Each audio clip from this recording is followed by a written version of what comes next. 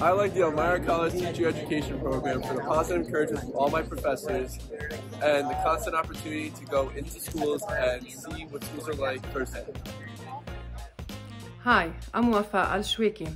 I like education program at Elmira College because of the supportive advisor and professors who guided me through my career transition from architectural engineering to mathematics education.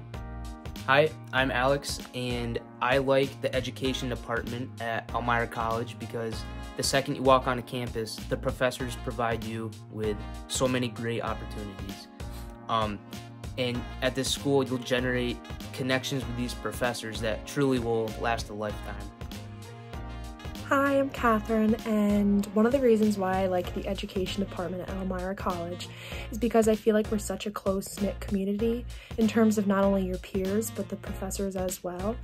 In addition, all the professors want to make sure that each student succeeds. I love Elmira College teacher education because you get a lot of opportunity and you're not just a number. Um, we're in Kentucky right now presenting research, so I thought that was a really cool opportunity that I wouldn't necessarily get at a larger college. I like the education program at Elmira College because it has already given me so many teaching opportunities, even as a sophomore, which has truly shown me that this is exactly what I want to be doing for the rest of my life and I know for a fact that it will open so many doors for many opportunities in the future.